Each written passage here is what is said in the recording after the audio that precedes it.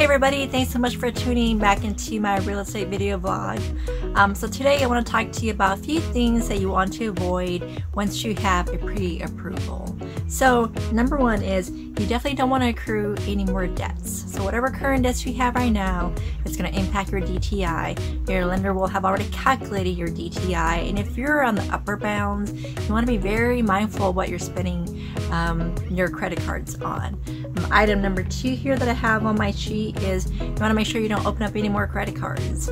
Um, just keep the current credits that you have. In addition to, you want to make sure that you don't close any credit cards. Um, and then on top of that, you want to make sure that you don't pay down your whole entire full balance of any debts you currently have. I know that's counterintuitive, but you know banks want to see to see you have some type of credit history, and if you pay off all the balances, then that's going to raise a few red flags. Um, your lender will actually identify which creditors will need to be paid off. Um, they may need you to pay off before close of escrow. Um, in addition, they will need some type of documentation.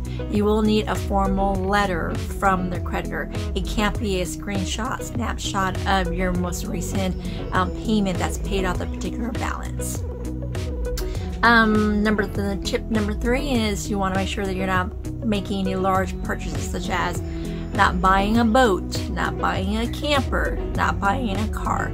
Though there are going to be some exceptions. Um, if you happen to, knock on wood here, um, get into a, an automobile accident um, and you need a vehicle to be able to commute to work, that's understandable, but do make sure they check in with your lender to make sure that this will be okay. Um, sometimes lenders will recommend you actually sell off your vehicles if you have a high, too much, too high of a DTI.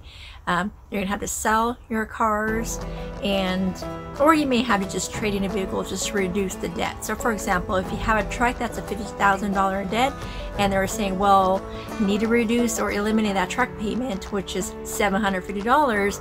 At least you can trade it in for another vehicle that might be thirty thousand, right? But at least your monthly payments are to be four fifty instead of seven fifty.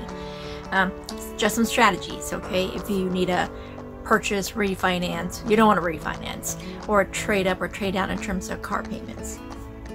Um, the other thing is you definitely don't want to be co-signing for anybody, okay? And you definitely super critical. You don't want to lose your job. You don't want to quit your job. You don't want to change jobs. Um, that's a huge red flag. Um, of course, because it makes one to know that you're going to be able to make those mortgage payments. Um, if you do want to change your job or quit your job, do that after the close of escrow. Okay? You want to talk to your lender. Don't tell them you're planning to quit your job. Just tell them once they're fully funded. Um, then the lender will give you a go ahead of yes, you can now go and purchase furniture, appliances, um, or then you can quit your job. Okay? And then the other item is you don't want to move money around. Um, banks are going to be a little suspicious if you're moving, moving money around and all has to do with all the um, you know overseas money and laundry of money. So you want to make sure whatever bank accounts you have just keep them the way they are. You need large deposits they need to be documented.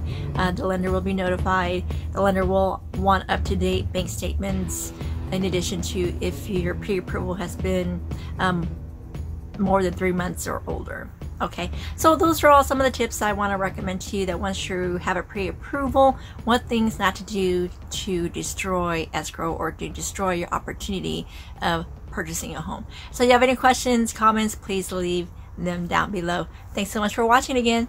Bye-bye.